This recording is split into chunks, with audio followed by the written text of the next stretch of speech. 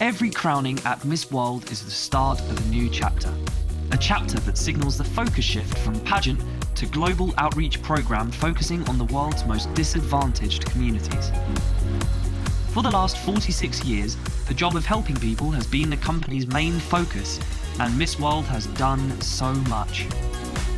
From delivering aid in times of crisis, to the inception of outreach programs such as providing fresh drinking water in Haiti, leprosy projects, Operation Hunger Support in Africa, drives for cleft palate surgeries in South America.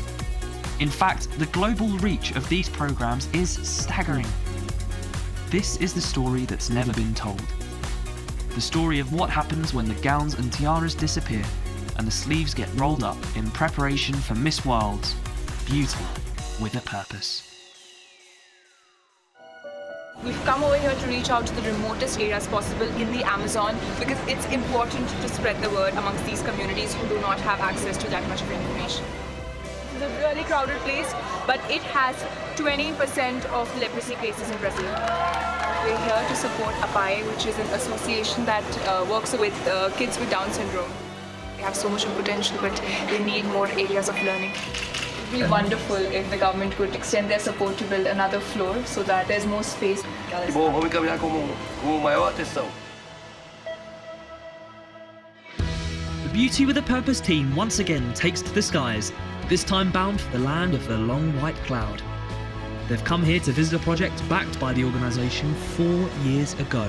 We're here to check out Miss World New Zealand 2015 different project about Learn Coach. And Learn Coach basically really helps New Zealand students um, get a better grip on their study. And it's really interesting um, and I'm so excited to share it with everyone. when everyone gets here, um, some of the Indigenous people from New Zealand are going to do a haka powhiri, which is basically a welcoming dance. It's about uh, seeing whether you come in peace or whether you come in war. So obviously we're coming in peace. I'm going to have to walk forward with these tribal warriors and uh, hopefully it all goes well.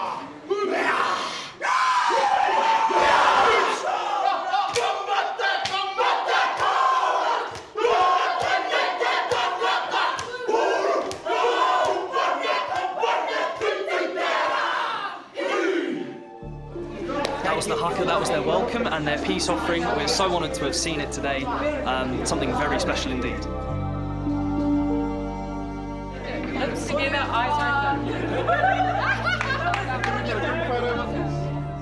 Some quick haka face memories, and the team are whisked off to begin their media campaign. It starts with an unrehearsed and live TV broadcast interview on local television. The topic of today is going to be beauty with a purpose. So a lot of people in New Zealand don't know much about it, so Manushi is here to teach us all. We're about to have our interview here at Maori TV. And we're going to be talking about beauty with purpose and projects here in New Zealand, so it's going to be really good.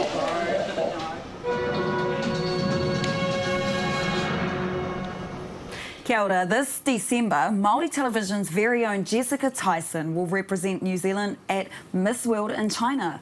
Miss World is a multi-million dollar business that attracts a billion viewers each year. For the very first time in history, two Miss World heavyweights are here in Aotearoa. They landed just this morning, and so it's a great privilege to welcome the reigning champion Manushi Chhillar of India and her predecessor Stephanie Del Valle. Pageants like Miss World are often criticised for objectifying women. What do you say to people who do criticise this? Well, um, I think uh, half knowledge is dangerous. So for people who actually know about pageants would realize that it's actually empowering women. I mean, mm-hmm. I mean, we're all young girls and we're getting an opportunity to do something big. Yeah. And that, that's, that's empowering for us. We feel more confident about our, ourselves. We learn so much. Mm. A group of women can't empower by putting another group of women down. I mean, that doesn't make sense. Not at all. but uh, there's so much more to it. It's about the journey. It's about, you know, being in a competition with different girls, being in a healthy competition, learning so much, overcoming your fears, your insecurities, being on a stage, the kind of confidence you gain. Miss World is more than just a beauty pageant, Yeah, isn't of course. right? Yeah. Every single year, it's approximately 120 girls that come to compete, and each girl has a project.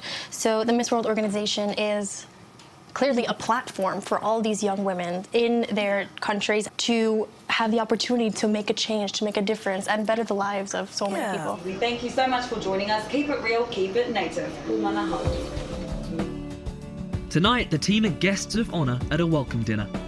Well, good evening, everybody. And for those of you who are new to New Zealand, kia ora. I'd like to particularly acknowledge Beauty with a Purpose, what you've been doing over the years, and some of the great charities that you've given to. And it's an opportunity to meet a beauty with a purpose legend, Dr. Deborah Lambie. In New Zealand, we're so grateful for the support um, that we've received from Miss World for the work that we do in New Zealand, um, and for me personally for the work that we do at Learn Coach. And with the support of Miss World and Beauty with a Purpose, we have been able to help over 200,000 New Zealand secondary students. for more than 200,000 children that you're working for. Um, giving them this opportunity to be able to learn, uh, which is again free of cost, uh, I think that they will be able to realize their dreams and there is no better feeling in this world when you're able to make your dreams come true. We're really excited to have the opportunity for you to show New Zealand what Miss World is really all about. And for us who have been involved with Miss World, we know that the heart and soul of Miss World is really beauty with a purpose and giving back. And that's what Miss World is really about. In 2015, Deborah came to Miss World with a project so unique that it would forever change the landscape of education in New Zealand. And it all started with this presentation. Failure. It's not a word that any student or parent wants to hear. It's right up there with other words like expelled or head lice. But in New Zealand schools, failure is everywhere. One in 10 students fail everything, while more than half of students fail to get university entrance. When I grow up, I'd like to be an author, a prime minister, a dinosaur scientist. All around the world, children have big dreams. But the harsh reality is that here in New Zealand, one in 10 children will not finish school. They leave with few future prospects and without the skills they need to make their dreams happen. All children should have a chance to succeed, regardless of the country they were born in or the type of education their family can afford. In 2012, Deborah and her now husband David Cameron, no, not Britain's ex Prime Minister, had a vision to make learning clear and simple. I saw in my own school students that were younger than me that were really struggling. And so I used to help these students one on one after school in my own time. And then from that, I was like, how can I help more students? So I made the tutorials and put them online and was like, maybe I can help instead of one on one, maybe I can help 10 students. And then from that, it really grew and grew and grew. In a nutshell, this is how it works. Jared is an NCEA student who wants to get good grades. The problem is that Jared finds study boring and sometimes a little confusing. This is where Learn Coach can help. Jared can sign up to watch free NCEA tutorials on the Learn Coach website. Tutorials which show Jared exactly what he needs to know for his exams in the fastest possible time. When I was a medical student, I met so many children who had to have a lot of time off school because they were really sick. And one particular boy that I met had cystic fibrosis, and this meant that he was off school for two weeks at a time, like many, many weeks in a year, and would have up to six months off school in a year. And you just can't get the education that you need if you're always off school sick. And so that's where Learn Coach really started. After meeting these children who couldn't be at school because they were unwell, and we thought there has to be a better way for children who don't have access to school or a normal school the chance to have an education. How did Learn Coach help? Learn Coach saved my life. My dad seen my report card. He had the biggest smile. I got my first achieved grade in maths. Maybe I'll try for university after all. I can remember when I was little being at school, and at the start of the year, my teacher came in and he said, I don't like you and you don't like me, so let's just get on with it. And that kind of attitude that we sometimes see in teachers is so destructive to young children and to learning itself. So that's why at Learn Coach we've got something different and something that has a different approach that we believe is really working and is changing people's lives. You know it works when like a lot of students rave about it and not just teachers. And I have to say, like, a lot of my friends also use it. They always, like, ask me, like, how do you do so well? And I'm always just like, it's from Learn Coach. Like, it helped me. Because last year, I know, in physics, in the common test, like, so before our exams, I was getting not achieved, achieved, and then afterwards, I was getting, like, excellence. Like, it was actually, like, really helped me. So in New Zealand we have those 185,000 students who are in school, but we also sadly have students who are out of school or, who can't attend school, who are sick or who um, live in a rural area and Learn Coach has been able to benefit those students as well because all you need is an internet connection and a computer and then school comes to you. It's a classroom without walls. There is no doubt that Learn Coach is a fantastic educational resource, but what's even more incredible, that it's also a self-sustaining enterprise, because the videos are hosted on YouTube. And once they're there, they make advertising money. So this maintains the upkeep of the tutorials and pays for the website. So this means the same tutorials can help the thousands of students who are going to be in their final year next year. And the year after that. And the year after that. In fact, it was such a great project that in 2015, Deborah won a special commendation and the Miss World organisation agreed to support Learn Coach. Not only has Julia Morley and the Miss World organisation been supportive, but they also made a donation two years ago to the Trust and to Learn Coach, and we were able to use that to make content and make tutorials. So they really helped us to help the students here in New Zealand, and that support meant such a lot. Hi everybody! Today we're here at Pomaria Primary School to see the effects of Learn Coach on children aged 5 to 11, but first we're here to appear on their radio show. My 88.2 FM, your local school radio station. And today we have two Miss Rose with us and we're going to give them an interview. We would like you to introduce your name, please. Um, hi, I'm Manushi. I'm Stephanie. And my name is Barney. So I don't know if you know, but Manushi's job this year is to travel the world and to help all kinds of charities, all kinds of children all over the world. Is there any kind of charities that you guys like to do? Uh, we don't really do anything. But you guys help out your community, right? Well, that's already that's already good enough. That's great. It's a great start. The kids of Pomaria Primary School are going to be our test subjects as we evaluate how beneficial the program is for them as we put them through their paces. I'm Deborah and this is David and we make uh, what we think is a very special online learning platform and it's called Learn Coach.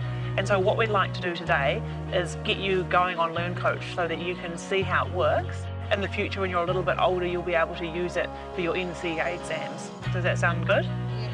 Yeah. How many how many years is it till you'll be doing NCEA? Five. Five years! oh my goodness. So you've got lots of time to prepare. So by the time you get there it'll be super easy hopefully.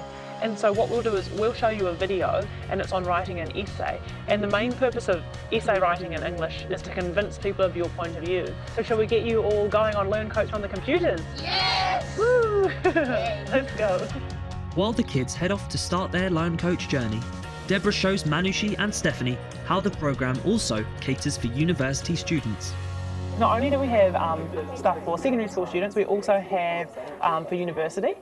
That's great. Um, and so we've got here Biomed, which is obviously relevant for you, Manushi, because you're travelling and can't study.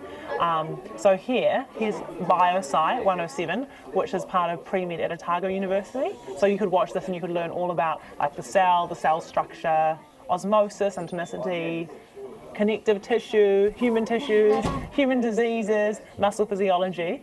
Oh my god. Amazing I'm, I'm tool. really, okay, I, I, I really need this now. Yeah, yeah. because I'm not studying at all oh, because Oh. of my one year. Yeah, because you're taking time off. And I, and I need to study. Yeah. This is so convenient like when you're traveling. I know, and because that's the idea. It's like kids or You- people you need can to, use it outside Yeah, usage, right? yeah. Oh well, like anyone anyone can use it. It will just be like specific to like our university courses, but like it will still be like. But like medical science is still the same. everywhere. Yeah. Medical science is medical science. Yeah, Yeah. it's- like all the textbooks I read are from are from like authors from all oh, Everywhere. over the world. Yeah. It's, it's not like Indian authors. Because that's what we realise is it's like so people take time off school for lots of reasons. They could be sick and like like having treatment and not able to attend school, mm-hmm. or they could be like an athlete, or like you, like Miss World, and having to travel around, or like the other thing that we were thinking about is people who are like adults who've missed out on school and are like in prison or like at refugee camps and who can't like access education. Like all people need is a computer to Yeah. do this, um, and it's like it's like making it more accessible. The online tutorials make learning fun, and the students seem to be following them with ease. Despite the fact that they're made for an older age group, their progress has been remarkable. So this is a video for 15 year olds. So it's five years older than a lot of these a lot of these students. I actually feel like this was meant for us because it was so easy to get on and we understood it easily. If you can't go to school, this is very helpful, the Learn Coach. I love this. Did you ever expect Learn Coach to have the impact that it's had on the lives of, lives of these young children? No, if you had told me back in 2012 that thousands or hundreds of thousands of students would use that, I would have been so surprised. When we made it, we just thought that if 10 students benefit from this, then our job would be done. And then when we put the website first up, um, 10 students did use it and we were like, wow, that's great. And then 50 students used it and we were like, wow, that's amazing, that's working really well. And then before the maths exam, that was about four weeks after we initially put the website up, I think there was more than 1,000 students had used it and we were like, that's actually incredible. So we're delighted and still surprised about how how the how big the uptake's been of the website. So at the moment we have more than 150,000 students every year signed up and using our website which we think is amazing. And there's been more than a million tutorials viewed in total since 2012 when we started. So how many students of that age group are there in New Zealand? I think there's about 185, 190,000 students. So about 80% of the students in New Zealand use your program? Yeah, that's right. That is astounding. Yeah. That's what we think. We're just super happy that we've been able to help, and we're really lucky to have had the Miss World organisation help us as well. The project has been so successful in New Zealand that Julia Morley wants to make it a global programme, and plans are currently underway to roll out Learn Coach in several other countries. Winning the Beauty with a Purpose Award gave Deborah the funding and inspiration she needed to take Learn Coach to the next level. It's now a nationwide platform all across New Zealand helping kids from schools far and wide, and very soon it will be a global one too. The kids have loved having Miss World as their guest for the day, but one young man wants a much longer relationship. I was going to ask yeah? what do you mean? And with Manushi's first wedding proposal now under consideration, the team move on to another worthy project, preparing and serving dinner to the families of sick children at the Ronald McDonald House in Auckland. Here in New Zealand, we've got houses in uh, Auckland, Wellington, and Christchurch, and we serve families whose children are away from home who who are going through a medical uh, journey. We, ha- we look after the families while the, the children are up in the hospital behind us. And last year we served more than 3,700 families um, and accommodated them for about 42,000 nights of accommodation, all for free. For many years, the Miss World New Zealand team have supported this charity as a part of their Beauty with a Purpose mandate. We had a basketball court here, but there was a, it, it was just a, a, a net, and we decided it'd be a great place to sink a basketball court. Turned out that at Miss World New Zealand, they wanted to, to be partnered with us to make it happen. So uh, the ladies from Miss World uh, raised about $60,000, and these girls have done a fantastic job. RMHC relies on an army of volunteers donating their time in different ways. And tonight, the team are joining the project director of Miss World New Zealand, Rose Folger, to cook for 120 residents. I'm asking her to, to do the salad. Uh, mix of uh, what is potato, spinach, baby spinach, and then um, beetroot and cottage cheese. cheese. That's it. That's all she does. I'm currently on the chicken. I'm um, preparing the trays with the drumsticks so that we can put them in the oven and get them cooking as soon as possible. Barney's having trouble opening his bag of chicken, and Manushi's just tossing salad while I'm here for um, eight pumpkins deep. You know. Steph, what are you doing cutting a pumpkin? Well, it's quite a workout. And this is really, like, you need a lot of muscle to do this, which I don't have. Yeah, you don't have to go to the gym anymore. Just, Nope, just cut the pumpkin. When you look at the facts, I've marinated the chicken drumsticks. I've put them in the oven. What she's doing, she's cutting pumpkins over there. She's a sous chef at best. I'm the real deal. I think Manushi isn't getting a chance to show her skills because I've been told she's a great cook. But, uh, you know, anyone can toss salad. Is there anything else I can do in the meantime? Your next job is to help them do the dumpling. Okay, bring me over. Okay, Let's yeah, see. there you are. While I take on my next cooking challenge, and the girls talk tiaras and crowns, Yes. the rest of the kitchen is worried that they may not get dinner served on time. Make sure that everything is right, okay? Lucy, it seems like you've been on the salad for an hour now. Is this as far as you've got? No, I've actually finished that one. Oh, you finished that one? Yeah, I'm on the second one. Okay, should we give this one a little taste test? Yes. Okay. How's it? It's not bad. Not bad? Not bad. Oh, Not bad. Rose, you said it was perfect. Yeah, it was perfect for a while, but we're not. After a long afternoon of preparing the food, the team managed to pull it all together to welcome in the hungry guests. You got a big line, so. Chicken? Yeah, please, thank you. We're now serving the food that we prepared. I myself cooked the chicken. I've got the vegetables, and uh, Manushi over there, she's serving her salad. Um, so not not many of people here on the salad because everyone moves on to the brownies, right? You put them at the wrong table. How many would you like? Two or three? just one It's all coming along well. Everyone's eating and we're like doing the cleaning up already, so it's all happening in the kitchen. It's a remarkable end to a remarkable day. Sadly, we've come to the end of our journey here, but we leave in the knowledge that New Zealand's Beauty with a Purpose projects are in safe hands. With a three hour window to make our flight home, an invitation to walk the Auckland Sky Tower cannot be refused, as our visit to New Zealand finishes on a high, leaving us feeling on top of the world.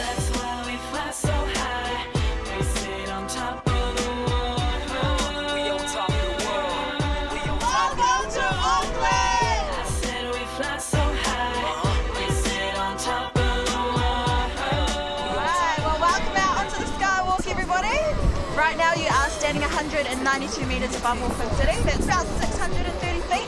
This platform here is 1.2 metres wide and we finished the trip right around the other side of the tower. That's where we're finishing and it's 120 metres right round.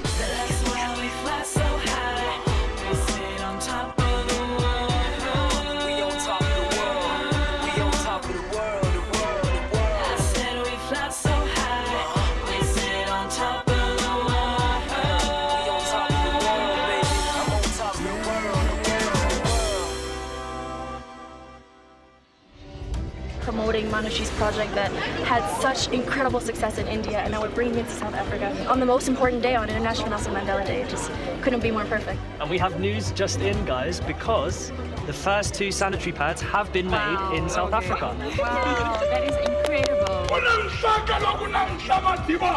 You must not live in this country without taking a beautiful woman. Let me be chosen for you. Take this one. He must belong to you.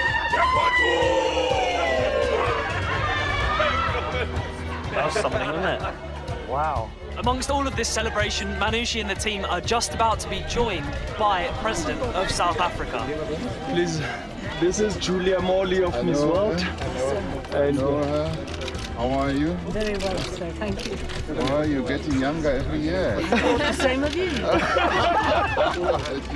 We're very, very proud that the first machine, the Aakar first machine, is here. Watch me run.